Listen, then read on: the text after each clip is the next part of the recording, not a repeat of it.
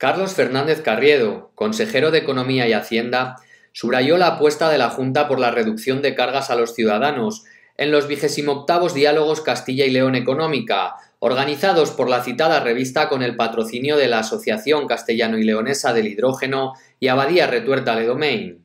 un evento al que asistieron una veintena de destacados empresarios y directivos de la región, en el acto, Fernández Carriedo recordó que la Junta ha bajado 38 impuestos en cuatro años.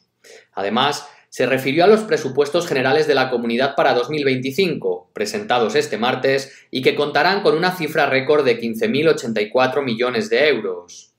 Por su parte, Rafael Barbero, presidente de la Asociación Castellano y Leonesa del Hidrógeno, apuntó que un proyecto de este clúster, liderado por Cartif y la Universidad de Burgos, ha logrado ser calificado como Valle del Hidrógeno de la Unión Europea.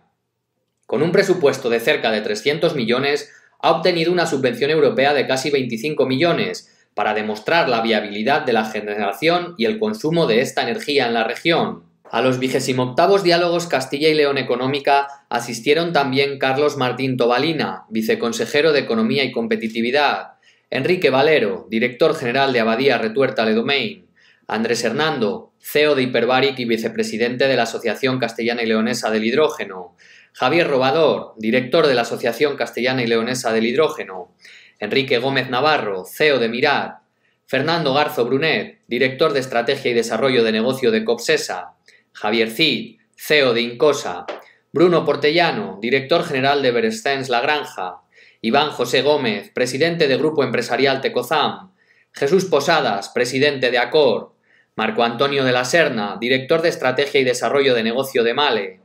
Álvaro Olivier, CEO de San Gregorio, Javier Sainz de Baranda, director de ventas de Fertiberia Bioscience, Silvia San Joaquín, directora de Desarrollo e Ingeniería de Naturgy España, Sergio Sanz, subdirector general de Fundación Cartif, Patricio Llorente, administrador único de Coyosa, Luisa Alcalde, socia fundadora de Castilla y León Económica, y Alberto Cajigas, director de Castilla y León Económica. Diálogos Castilla y León Económica es un punto de encuentro entre empresarios y responsables políticos de ámbito nacional y autonómico, con el fin de analizar temas de actualidad. A lo largo de sus 27 ediciones ha contado con la presencia de ministros, secretarios de Estado, presidente y vicepresidente de la Junta y presidentes de COE, CEIM, Cámaras de España y Consejo General de Economistas de España, entre otros.